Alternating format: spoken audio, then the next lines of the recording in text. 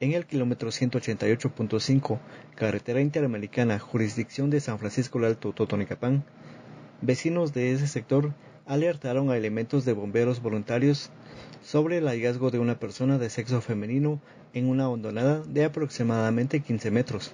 Al momento de acudir al lugar, los socorristas constataron que ya no contaba con signos vitales, por lo que se coordinó con el Ministerio Público para el levantado del cuerpo de la femina.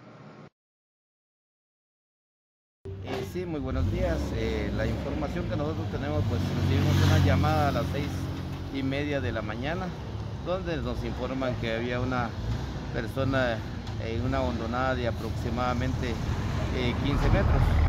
Al venir, pues se vino a evaluar a, la persona de sexo femenino y ya sin signos vitales, pues no tenemos datos preliminares aún todavía, solo la, fallecida pues solo cuenta con un sudadero celeste, una blusa morada, ropa interior que se, que se mira en, la foto que es eh, rosada y un pantalón de lona.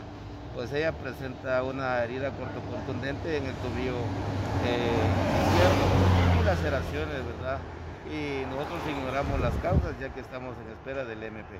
Fueron vecinos de este lugar donde están ellos botando ripio en, este sector que se dieron cuenta que estaba la persona ya fallecida. Eh, caballero bombero Juan Reyes Pérez, de la 121 compañía de San Cristóbal Totonicapán.